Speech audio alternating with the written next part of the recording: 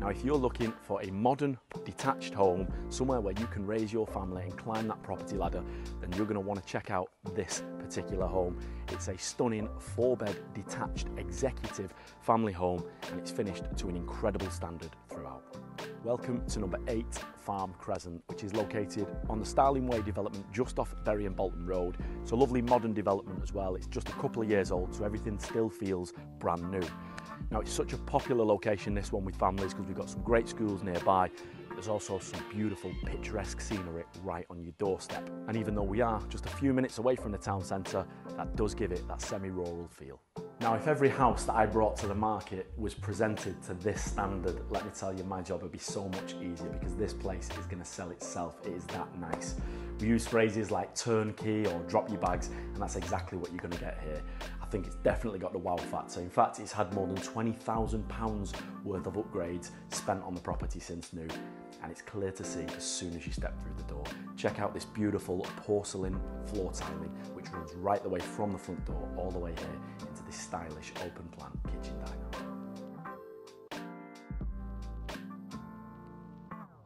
And then back into the hallway, it's beautifully decorated this place. I love the choice and the style. Um, you've got the downstairs toilet just here, which is always going to be handy and important for any growing family.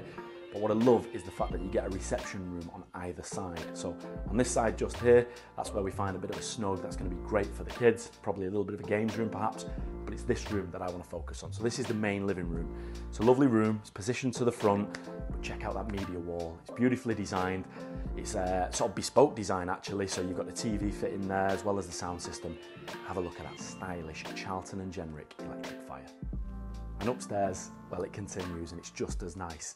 I love this spacious landing. In fact, when you go into some new build properties, the landing area can feel quite pokey and you're almost going straight into your bedrooms, but that's not the case here. It's nice and spacious, like I say, but it's also nice and bright because you've got that window on the gable just there. But it's the bedrooms that I want to focus on because all four of them are really good sizes. Three of them are definite doubles, and even the fourth room well, it's certainly not a small single, it's arguably a three quarter room, and they've all been kitted out with some form of fitted wardrobe, whether they be mirrored, sliding, or even high gloss.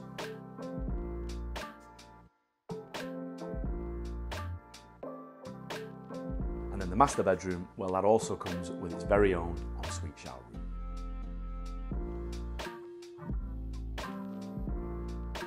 Now I've pointed out various upgrades to the inside of the house, but that theme continues on the outside.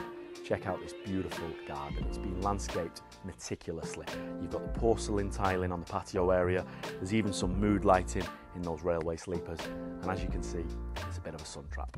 The final thing to point out about this incredible family home is that it also comes with a detached garage right at the end of its very own driveway.